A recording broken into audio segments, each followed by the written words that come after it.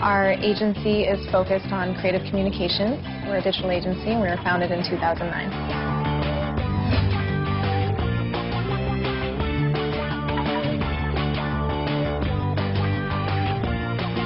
So the birth of social media actually interconnected everyone. It's kind of the nervous system um, to society right now. There's, there's nobody that doesn't have some element of technology in their life and some social profile.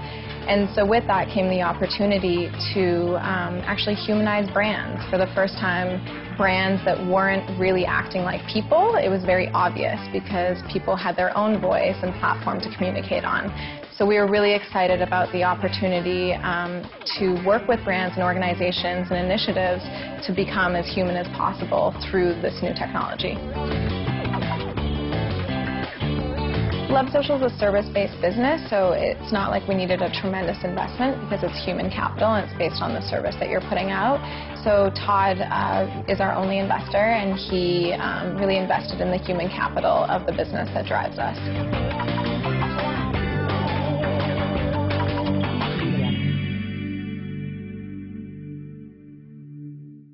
At the time that we co-founded the company, I was the CEO of Warner Brothers Records in America.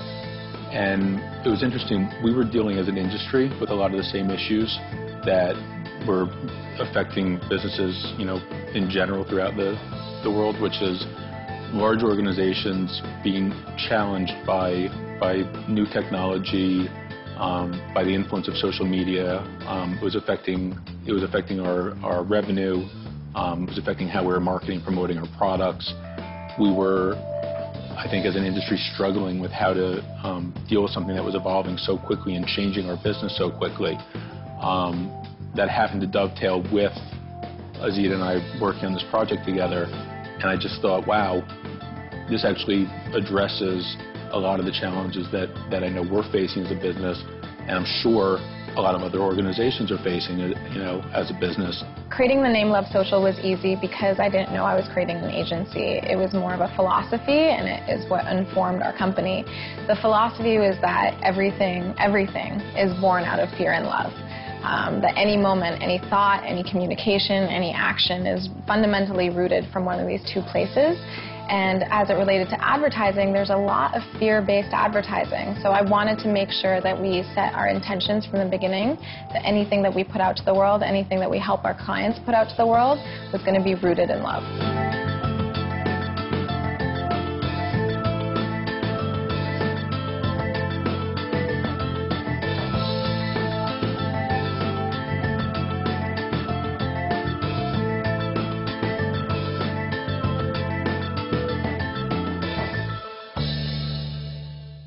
I think one of the main services that we provide is helping people find their, their own authenticity. And Azita always talks about the grain of truth. But a big part of what we're doing is helping people to find themselves. It's not one size fits all. Each company has its own personality, its own goals. Helping people figure out how to translate that into a space that a lot of them are, are not comfortable with or just getting comfortable with is a big part of what we do.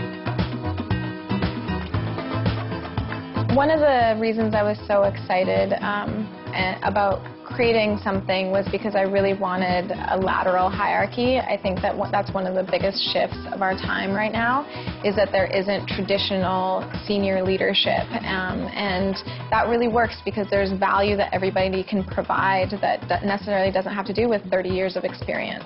And someone that was creating the agency didn't have 30 years of experience. So I think it's less of a leadership role and it's more of an equal value of what everyone has to bring to the table. I don't think about us as a typical advertising and marketing agency. Uh, we use the term creative communications agency, and it's really because we're all storytellers, and we believe that uh, when we work with the right clients and we set the right kind of environment, we can work on a lot of different projects that pique all of our interests.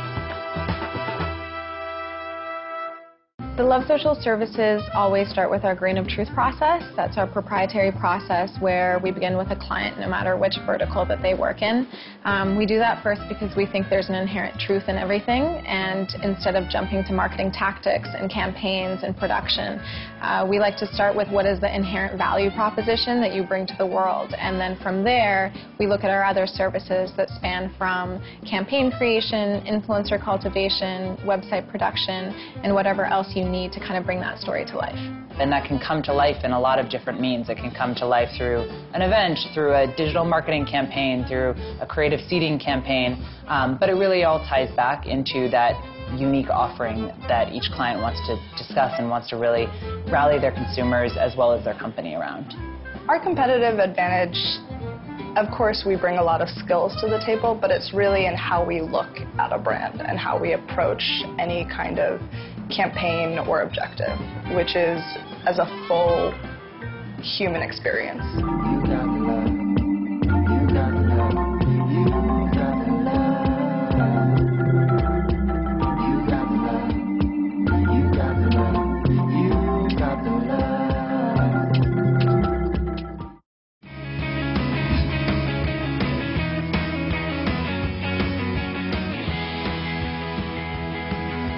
Pretty broad spectrum of clients, so they typically fall in a few different categories. The first would be legacy organizations that are um, hoping to come, become more relevant in the digital age. We've been lucky enough to work with the Nature Conservancy and National Public Radio in the past year and really helping them build out uh, a new face and a new look and a new voice for, for their initiative and for their organization. Um, so that's a common thread that tends to run through. Over the last year, we've worked with clients from Nike to Converse to the Tribeca Film Festival to the, uh, running a campaign for Iranian human rights. Um, that's been incredible. When we look at a brand and their objectives and what they're trying to accomplish, we look at them as a person, how they react and engage with their customer or potential consumer, and how everything that they can do can be authentic and therefore really resonate with the community. We want to leave a lasting impression, not an immediate reaction.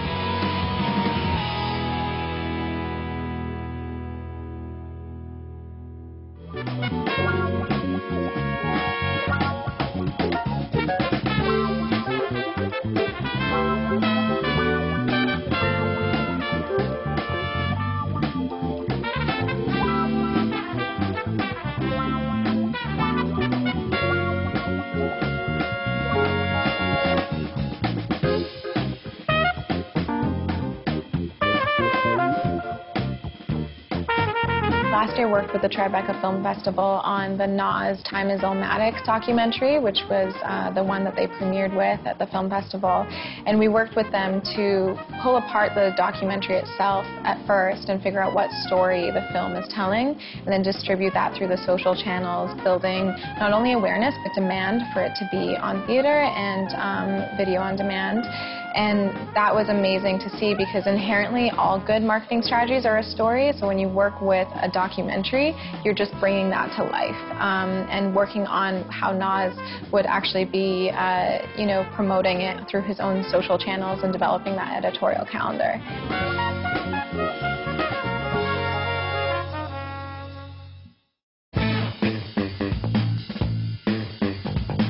We've never talked about growing for growth's sake. Um, I think we all love working together and we want to continue to do the best work we can.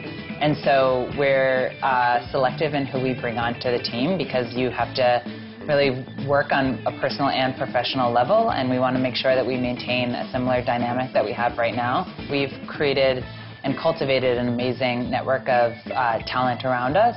And our clients are so different and call for such different types of talent for each project. So um, we really expand and contract according to that.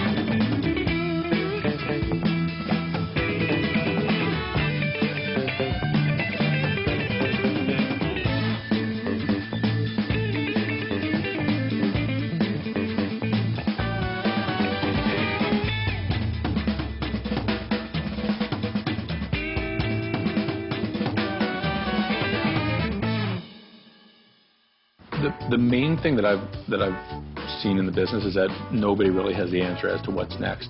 It's actually about being fluid. I think as a small, nimble company, we're incredibly fluid. I think we, we are able to iterate and evolve more quickly than our competitors.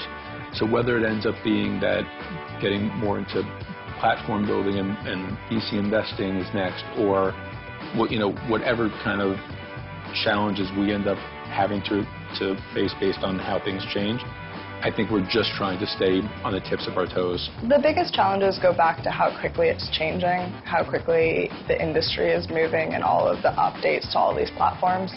Especially when it comes to paid media, our biggest challenge is figuring out how to create advertising campaigns for our clients that are up to date and also scalable. I think the biggest challenge for us is that we've built a business in a very uh, tumultuous landscape. Uh, social media and digital media has changed tremendously since we came to market. One of the major things being that while the channels used to be organic, they're now paid, especially post-IPO. So after Facebook and Twitter went public, for example, they put paywalls against everything.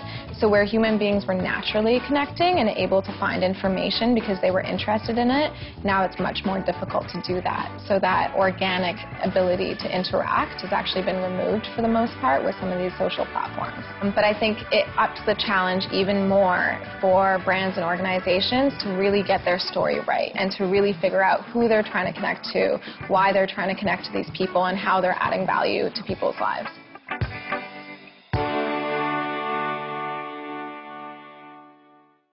I think this year we're going to focus even more on the grain of truth process. Our hope is that um, we, in the next uh, quarter, are going to be actually releasing that for free and allowing people to not only see how we work and what we do, but also just take it and, and build their, you know, their own dream job with it. Uh, I, we are a small team and we can't work with everyone. We can only take on a few clients at at any given time. So our hope is that we put out our, our thoughts and, and, and our structure into the world and we allow people to, um, you know, have the same kind of fun that we do.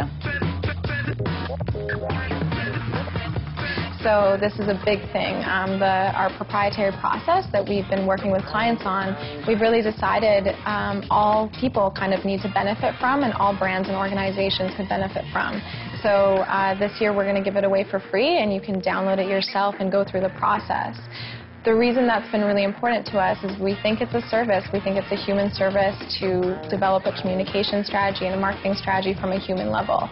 And if that's the impact that we make, then I think that we've been successful.